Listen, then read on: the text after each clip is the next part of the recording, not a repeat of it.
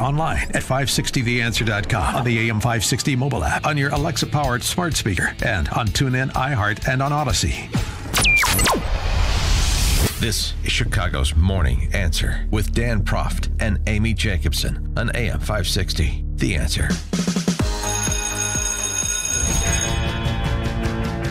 Cause they got the beat, the campus beat, the campus Yeah, uh, Herbie Husker apparently uh, is the mascot for the Nebraska Cornhuskers.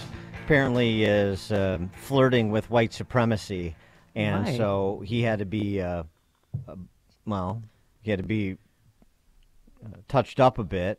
Uh, it turns out that um, he was uh, using the OK hand gesture. And as we know uh, from five minutes ago, uh, that is apparently a hand gesture used by some white supremacists somewhere. Well, I don't And know what scuba divers scuba divers are going to do because you use that sign all the time while you're diving. Uh huh. The OK sign, because that's that's the you know that's universal. It's been they, they had that since the beginning of time. Nebraska Athletics Licensing Director Lana Heinrichs. Uh, the hand gesture could, in some circles, represent something it does not represent what Nebraska athletics is about. We just didn't want to be associated with portraying anything that somebody might think, you know, that it means white power. According to the Anti Defamation League, this OK symbol is used by a small group of white supremacists who started using it in 2017 to troll others. Okay, so now Herbie the Husker, uh, Herbie Husker, I should say, is going to use "we're number one" hand gesture instead of the OK hand gesture. So what happens if a white supremacist somewhere is identified as using the "we're number one" gesture? Do you have to go back and Or cut off his Herbie, hand- fingers. Herbie Husker to come up with something new? Yeah. Uh, do we? Ha- I mean, this is, of course, over the last couple of years, we've seen this uh, in other venues too. A Jeopardy champion had to like apologize that her okay on Jeopardy wasn't really a white. I mean, like the default position is anybody who makes that hand gesture is a white supremacist. Of course, is the poison here. In addition to the silliness of chasing and giving profile to people that are trolling you for the purposes of behaving so that you behave like adult like these people are behaving and this is what uh, is concerning the deep thinkers on college campuses these days uh, and if you're uh, traumatized by a herbie husker hand gesture or something akin to that colorado state university this uh, big uh, sign they put up on campus. If you or someone you know are affected by a free speech event on campus, here are some resources. And they list the What? The, the departments and their phone numbers that you can call. There are 17.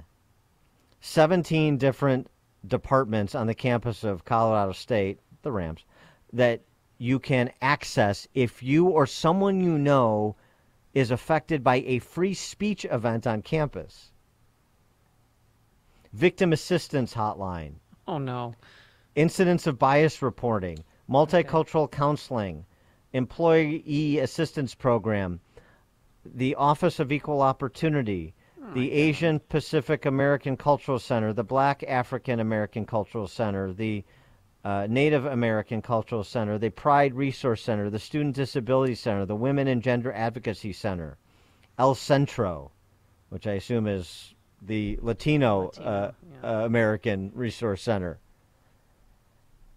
Maybe uh, this is why uh, folks like um, uh, University of Pennsylvania law professor Amy Wax said uh, a couple years ago. She said told it to us on our show. Yeah, um, the Ivy League is not salvageable. You essentially need to crater it and start over, or alternatively, I suppose you need to start uh, founding new institutions that uh, provide uh, a high quality education that don't obsess about the hand gestures of their mascots and are interested in uh, preparing young people how to be successful in life and intellectually curious throughout said life. Well, that's sort of the position, not sort of, that is the position that our next guest has taken.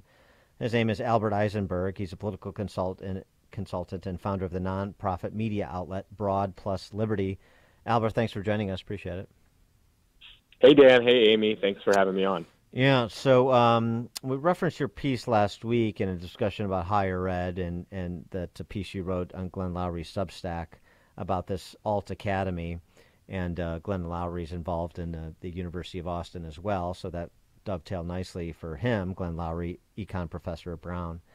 Um, so, you know, sort of give us your perspective on this idea of rolling out new institutions of higher ed to uh, revitalize higher ed in America?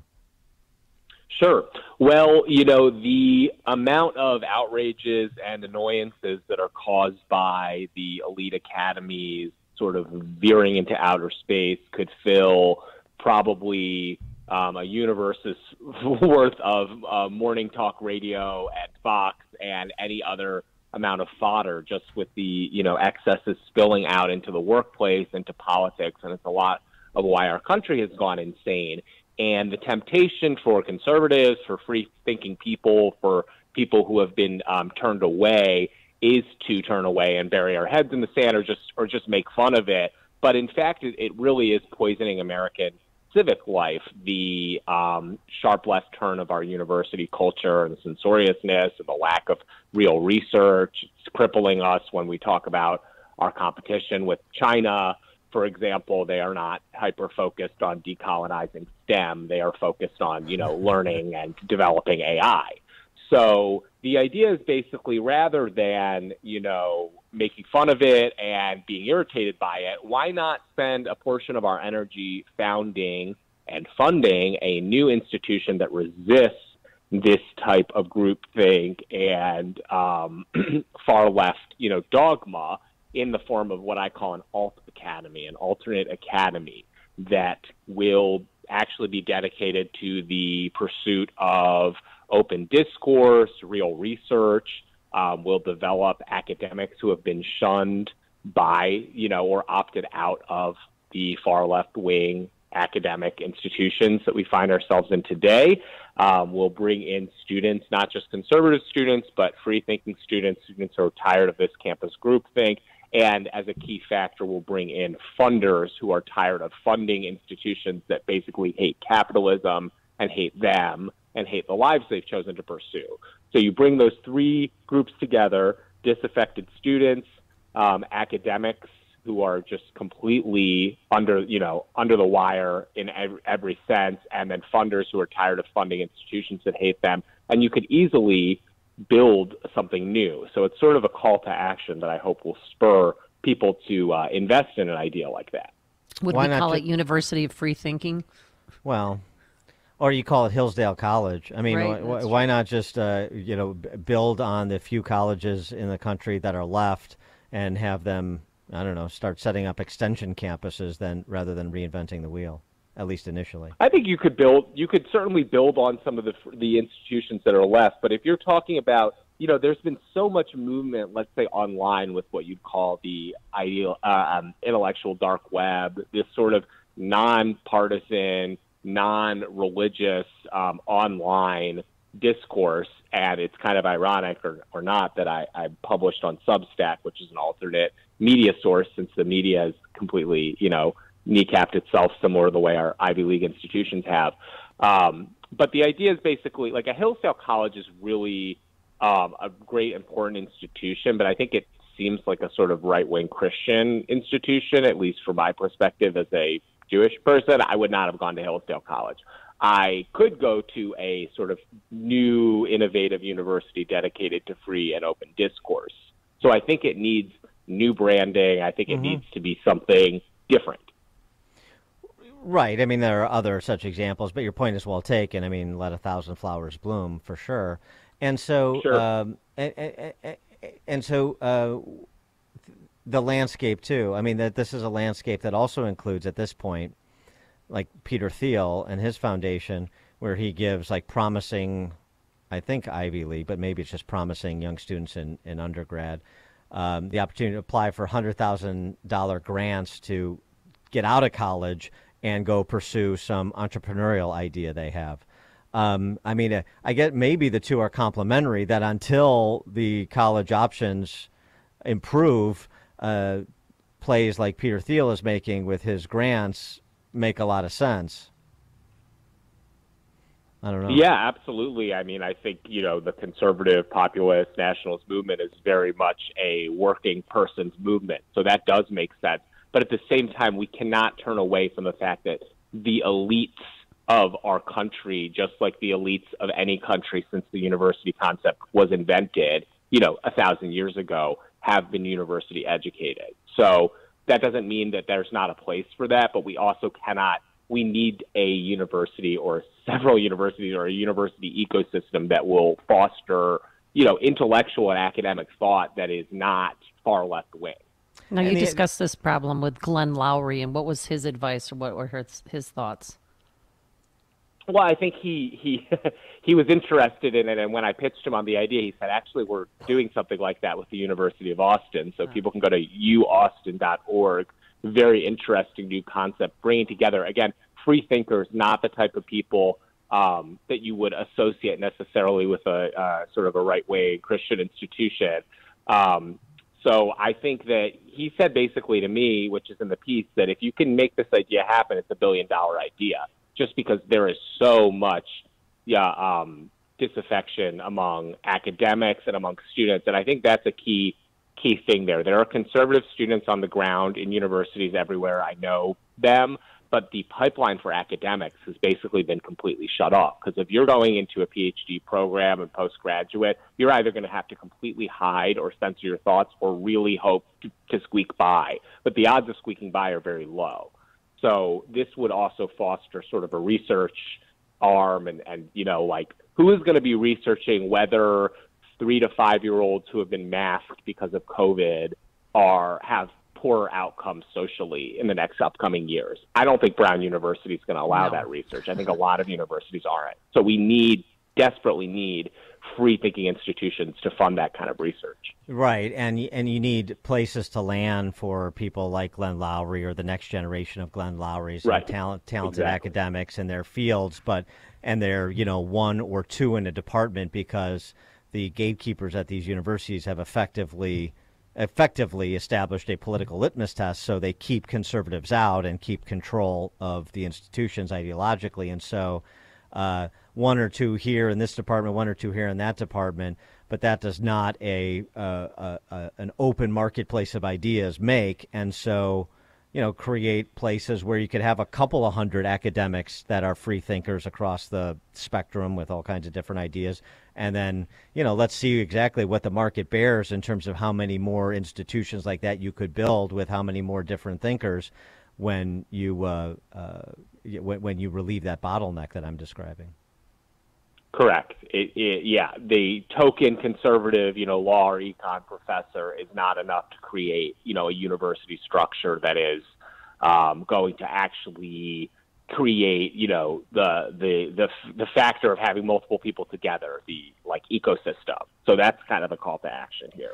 Well, and the other thing too would be interesting to see as these um, these innovations, these competitors develop, is what exactly the student demand is, because the problem you have is uh, in the pipeline is not just with academics, but it's with students because they're coming out of K through 12 government school systems and a lot of private schools prepared to continue to be indoctrinated at leftist universities the way they were at the K through 12 level. So, what's their attraction to you? You know, how many people, I should say, are going to be attracted to University of Austin or some other uh, competitor?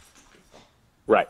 Well, if you think of it, even if only 1% of college students are self-selecting and interested in this, it would fill, you know, dozens of universities. There, there are a lot, a lot of students who are not happy with the current groupthink culture. And you're right, it's a systemic issue, but we have to start solving it. We have to start solving it rather than just, you know, being irritable about it. And I see so many people on the right, you know, so frustrated and outraged all the time. And I agree, I'm frustrated and outraged with the status quo, how things are going. But we have to do more than just um, complain. We have to build something new. And and you know, and, and this is obviously a labor and capital intensive project when you're not talking just about an online resource, but you're actually talking about a a campus environment, which is attractive to a lot of young people and their parents because of the generational inertia and because of the experience of being with other people, as we've seen over the last two years.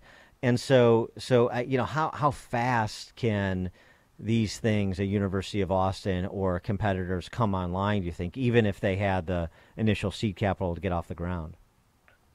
I think in um, in a matter of a couple years, depending on where you put it. I mean, if I were planning something like this, and I'm not planning, I'm just throwing an idea into the ether and hoping somebody, you know, richer than me decides to do it. Um, if I were doing it, I mean, you definitely want to put it in a red state. You definitely want to put it somewhere where there are, you know, zoning issues where you can buy a lot of land and and get zoned the right way, and you know, be able to clear the um, deck so you can actually build something. But I, I have to imagine if something is done well um, and efficiently, it can be done in a couple years' time. And, and there is tons of precedent for people buying a lot of land either in existing universities to acquire new camp, you know, new campuses or new um, annexes and building quickly within a year or two. So I, I could see this coming online, and it's certainly desperately needed. Sure. Look what Tom Donahue did with Ave Maria in Florida, the former uh, Domino CEO. So you're right. There mm-hmm. are precedents for it. Uh, he is Albert Eisenberg, political consultant and founder of the nonprofit media outlet Broad Plus Liberty. His piece, To Save Higher Education, Free Thinkers Must Launch an Alt Academy. Albert, thanks for joining us. Appreciate it. Thank you both. All right, thank you. And he joined us on our turnkey.pro answer line. If you're talking about it, Dan and Amy are talking about it. It's Chicago's Morning Answer on AM 560. The Answer. Signature Bank is Chicago's fastest growing independently owned business bank. It's a bank where relationships still matter. Signature Bank knows your name and your story. I'm Dan Proft, and I know this because Signature Bank is